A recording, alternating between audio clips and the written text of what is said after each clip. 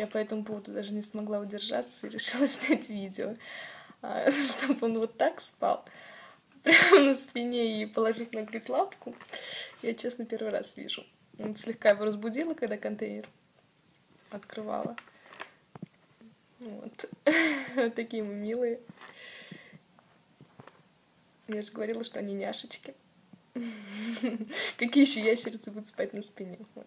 Мы проснулись, пытается развернуться. Не хотелось, конечно, его будить, но не показать вам этого я не могла.